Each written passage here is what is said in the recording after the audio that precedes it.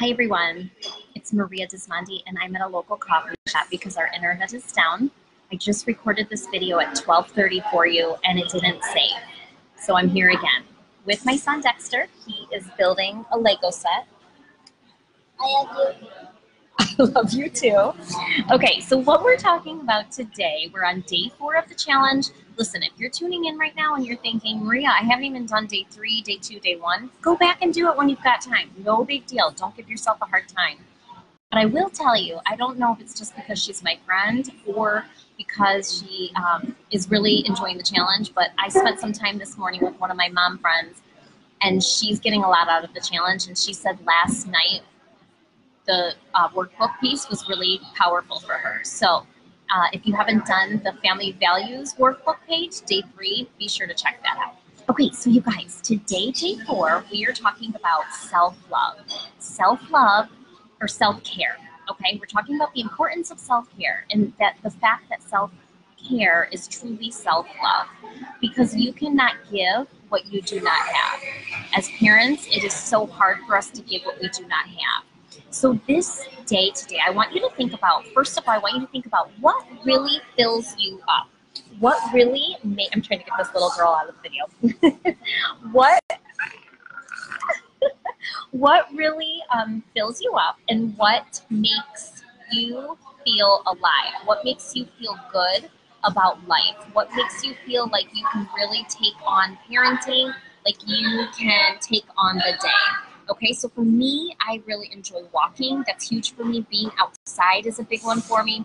Um, my friend mentioned date nights. Yeah, date nights fill me up too, for sure.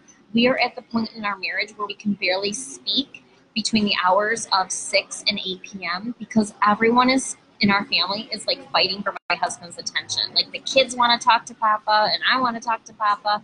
So it's really hard to communicate right now and with with each other when the kids are around. So what I want you to think about, one, is what really fuels you, okay? Self-care is not selfish. I believe self-care is necessary to thrive.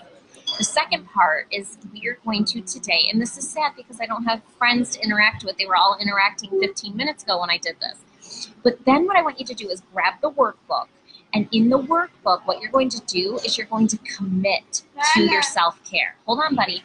You are going to commit to your self-care. So, for example, there's a few things I want to do. Um, I want to focus on physical health. I recently had a surgery and I haven't really felt my best.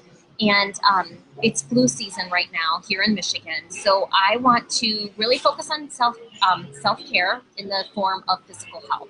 So what I really want to do is I want to um, get our vitamins stocked back up in our home, and I want to also uh, take care of some of these like uh, facial moisturizers that I want to make so that I can put them on before bed, like they're natural facial moisturizers. So those are a couple things I'm going to commit to. And then what I'm going to do is I'm going to take some time after this call to put it in my calendar, you guys. Get it in your calendar. So we're on day four. Um, we're on day four right now of the Parenting with Purpose Challenge. We have one more day to go tomorrow, and it's a big one. It's a doozy.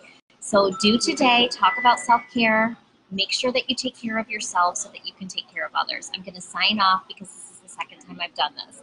Thanks so much, everyone. Have a great day, and I'll see you tomorrow, probably from my own home.